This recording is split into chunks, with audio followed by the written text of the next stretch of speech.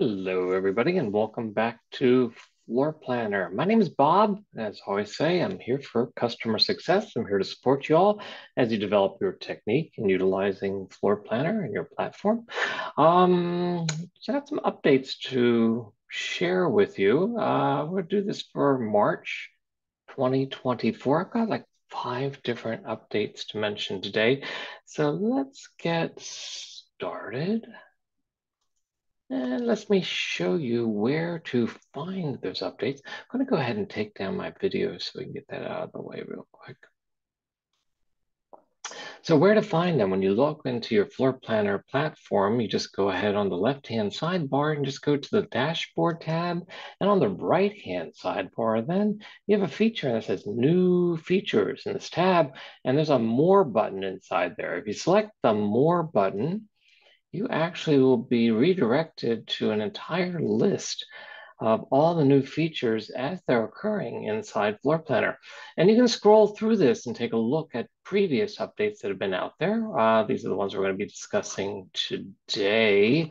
And where we left off last time was back looking at the copy paste options that we were talking about using your control C and control V tabs on your keyboard and also going ahead and um, working with that copy paste feature within floor planner, copying and pasting between multiple design, multiple floors, etc.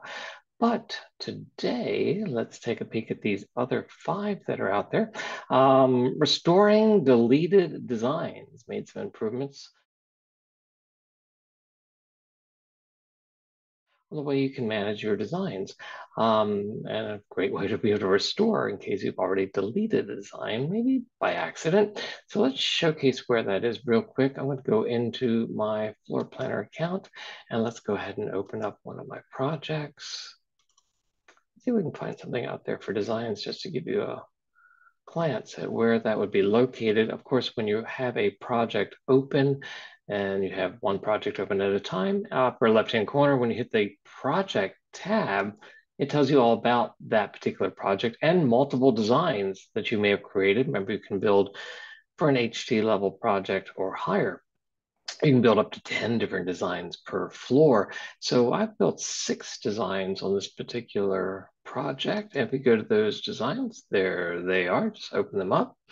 And I can toggle between any of the independent designs that have been created.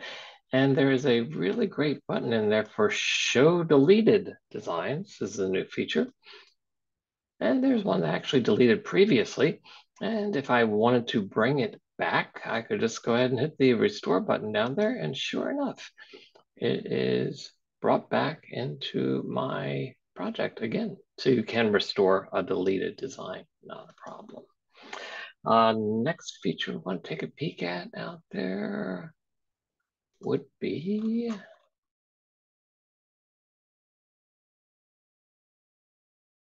top bar changes and moving the floor drop down, the multiple floors, again, for an HD level project or higher, uh, new location as to where the multiple floors have been located, where that toggle switch is.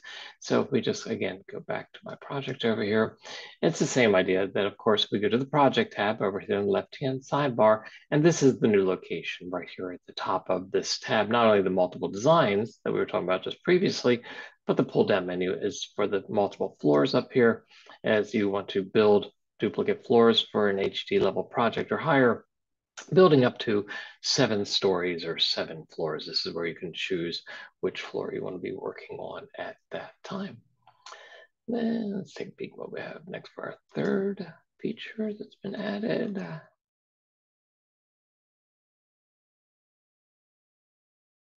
A new look at, for notifications um, as they've been um, posted across the top of your dashboard up here.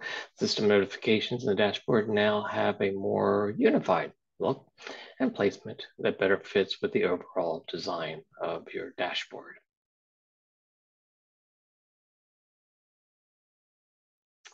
And we're also looking at ah, the presentations update. We've had the presentation feature inside Floor Planner for a while, but it's been updated Um, I think you'll find it much more fluid. I think you'll enjoy uh, the new features that are within this presentation tab. And you're building a slideshow presentation, not unlike PowerPoint presentation, PowerPoint, but it's more of a more of a PDF format, if you will. But as you build any particular project inside Floor Planner, of course, you're creating your exports and your images. Um, and of course, your, your products themselves also have their imagery that are associated with them. So you can pull from that entire database uh, as you've created them and add this all into a slideshow presentation and make a nice unified presentation. So let's actually take a moment or two with this presentation guide and actually uh, maybe build one together. Let's go back to our My Floor Planner account and this particular project, I think we're going to go ahead and show you that when you actually are on your dashboard, your home page, which is where your projects tab is listed on the left-hand side. When you select it, all of your projects will show up. If you go ahead and single click on any one project, don't double click, it'll open the project, of course, or hitting open would open the project. But by single clicking on it just once, you gain this left-hand sidebar. Within this left-hand sidebar, there is the tab over there for presentations to make a slideshow presentation about this particular project. So if we go down to the presentations tab, I've already made a couple just uh, playing around with this a little bit, but I'll show you how to build one from scratch. Just hit the create presentation tab up here in the top and we're going to go ahead and allow it to, well, let's give it a different name. We'll call it Bob B for today, just give it a namesake. Um, if you happen to be an enterprise account out there, you will be starting your presentation levels at a higher resolution, which is a premium level. Uh, for those of you that are working out there in the basic accounts, um, basic presentation. It's a lesser resolution that's available, or you can always upgrade it to a premium also. Um, let's go ahead and create the presentation. Now, when you create a brand new, it's a slideshow presentation. So it starts with a cover page. With a cover page out there, there's some information that comes in automatically, and you can also make some modifications to this first slide. So if you select the slide itself, you'll see over here on the right-hand side, you have the ability to add some um, different font styles, some different uh, font sizes, uh, what information you want to showcase in there, client name, a title for this particular page. And you can also choose a background image. So for custom branding, think about it. Um, a JPEG or PNG image of any sort of maybe ghosted background or your company's logo, etc. Um, I've actually played with this actually in PowerPoint where I've gone ahead and opened up a PowerPoint slide and oriented it with a company logo, et cetera, and a couple stripes of color um, of however you might want to create your own background because PowerPoint will allow you certainly to export that as a JPEG or PNG image. And so I made one just for example out there to say, well, what if we want to make this a little bit more interesting than just a white background? You can insert a background image for the cover page. Just hit choose and go ahead and find an image that you've created. I've made this little demo piece right here. Say open it as a JPEG image and actually inserts it as the background. Um, this could have certainly in this page, this sheet, this JPEG image that I inserted could have been your company logo here in the center, etc. And here's the text again that's being uh, assigned through your cover settings over here.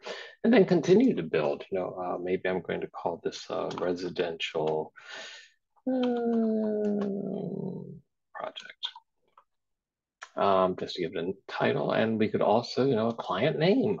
Uh, maybe it's Mr. and Smith.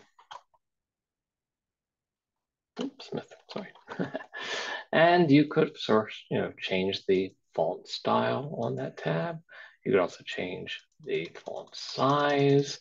Choose to have your, this is my name and, and my email address as the creator of this particular presentation, um, which I could choose to go ahead and have it turned off as the creator details.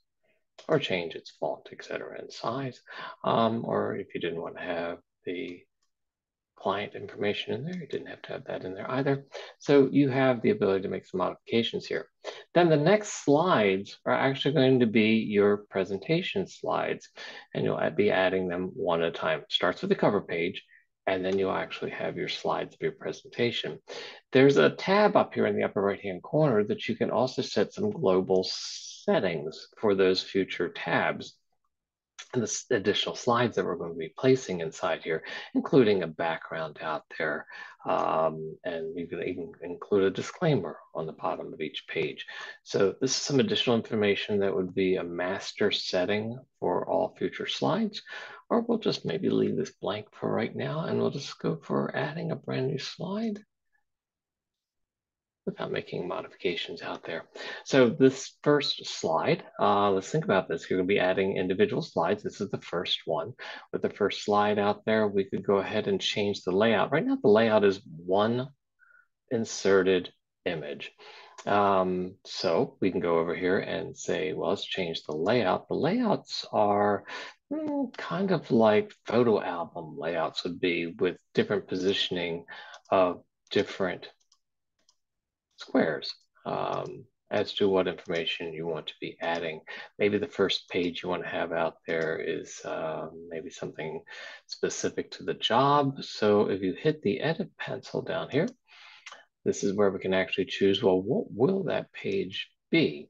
Is it going to be a custom image that you're going to uploading a JPEG or PNG image of a site plan or an image that you have of that particular project? Um, also, maybe a 2D floor plan that you've created inside the particular project that we're referencing, or any of the export images that you've made as 3D renderings, or if you've built a style board already associated with this project. Product, product would be, of course, any of the furniture items or the accessory items that you have inside Floor Planner in this particular project, materials and finishes, colors, paints that you've assigned inside this project, and any text information if you want to add some custom text to this page. Um, so you choose as to what subclassification you want to be including into this option here. I could just say, well, we're going to go ahead and make it a custom image. And then, well, what is that custom image? I can go ahead and find it go choose some custom image for some reason related to this job. Um, just to grab a JPEG, whoops. Maybe this is uh, a lifestyle image and maybe it's my inspiration page that we're inserting uh, to go ahead and showcase inside this first slide. And then maybe we go to our next slide and choose, you know, maybe it's a different layout page that we're going to place inside there. Maybe this layout page is going to be something more like a few different options on that particular page. Maybe this particular tab over here is going to be maybe a 2D floor plan. So any 2D floor plan that might be associated with this particular project, um, if I had created one, it would give me an option to go ahead and select from this particular project. And sure enough, I did make one. There's one right there. We can go ahead and select it. And we can also move it. And you also have the ability to resize it. And maybe these other tabs over here, we want to maybe showcase some of the products that are in this particular job. Um, we could go over here and say, well, let's make this a product feature. And we want to go and select the product that happens to be in this particular design. Um, maybe it would be something like, ooh, there's a lot of items inside this particular product. Uh, maybe this core base over here. So if I select it, there's my item, and I can again use my scrolling in and scrolling out to resize it. And you can choose as to, you know, what image you want to be showing, the perspective image of it, or the front image, or the side image, other side image, top image, uh, etc. Um, to make your modifications out there. You can then maybe pick another tab and say, well, maybe I want to do a product. Maybe I want to do one of the materials that's in this particular project and go select a material. Uh, these are the materials that are being used in this product. maybe that top pattern, I want to go ahead and show it. So again, you can just keep building, selecting which category, and then you're actually, again, pulling directly from the specific project to make this storyboard, if you will, a mood board presentation as a PDF slideshow. And once you've completed all of your individual slides, you can certainly go up to the Export PDF tab in the upper right-hand corner. And it's actually created the presentation. We're just opening it up as a PDF document right now. And you built your document for presentation. Has a lot of ability to allow you to be as creative as you need to be uh, within this particular format. Those of you that happen to be the enterprise accounts currently, uh, and you have administrators with your accounts as enterprise accounts, um, there's a feature inside there that you can actually develop templates for your team. So you can set a branded standard as to how you want to go ahead and actually brand your company to make sure that everybody follows suit with the same. Otherwise, uh, the rest of us, we're making our own customized individual presentations. If you also go back real quick to our update list.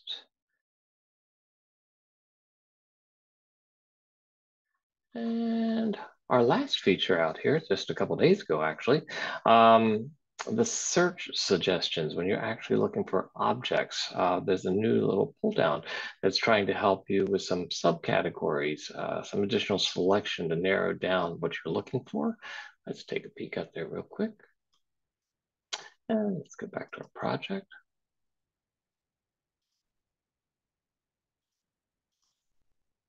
And go into our objects. Hmm, maybe not exactly the slide I want to be looking at, but that's okay. It's just that design that we just brought back um, after being deleted, but same idea. Let's go over to objects over here on the left-hand side.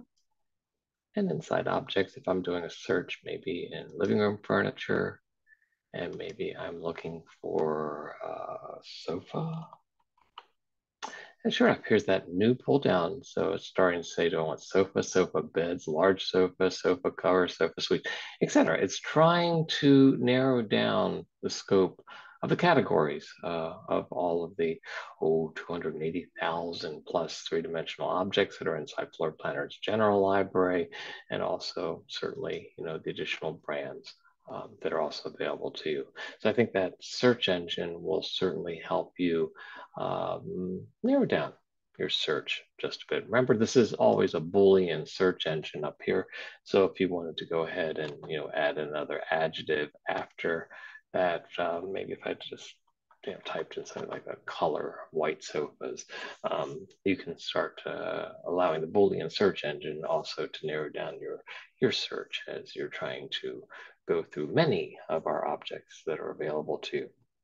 And I think that is going to wrap us up for today. Yep, that's our last update at the moment. Um, look forward to seeing you hopefully at another video, possibly for the next month. And also don't forget that we have our live webinars also available to you that you can join for free for our intro webinars or advanced tools webinars and also our 2D, 3D camera settings. So if you want to register for any of those live webinars for free, they are available to you on your dashboard back at your homepage. And on your homepage dashboard tab, they're up here in the upper right-hand corner where the little radio button down there for all the three different flavors of live webinars that are available for you. And just hit the join button. Again, always free.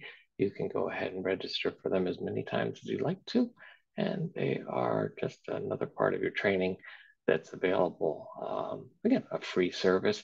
And also, don't forget to go to the floorplanner.com website if you need to,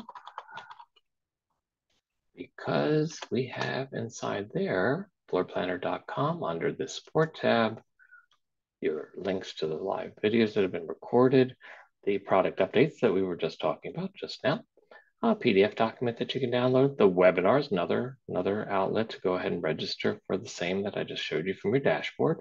There's a contact form over there also on the right-hand side. And there's also at the very bottom, something kind of new if you hadn't seen it, um, FAQ, frequently asked questions, um, another source uh, to gain uh, information as you're developing your technique inside Floor Planner. Again, appreciate your time today and look forward to seeing you possibly one of our future webinars or certainly back at these recordings. Until then, have a great day. Thank you so much.